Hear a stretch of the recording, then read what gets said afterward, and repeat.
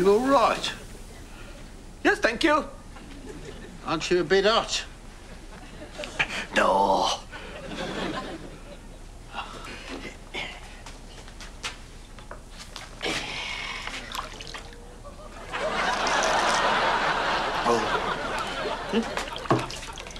You do know this is a sauna? Of course.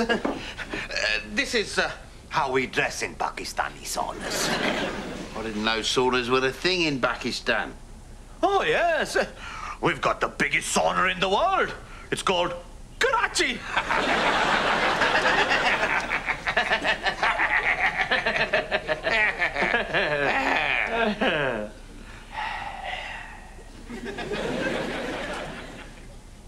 You looking for someone? A snooty posh man. Take your pick. This place is full of uppity members.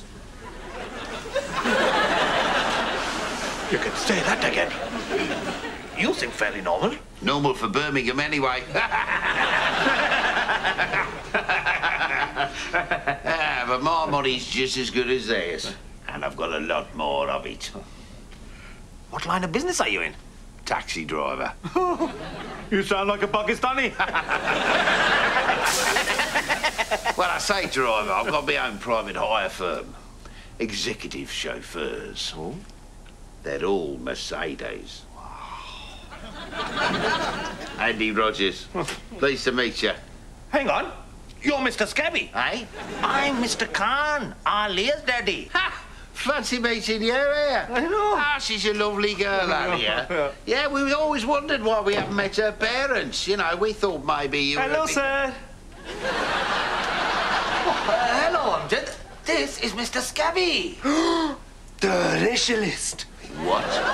Amjad, no, no. It's okay, sir. Leave this to me. Who do you think you are?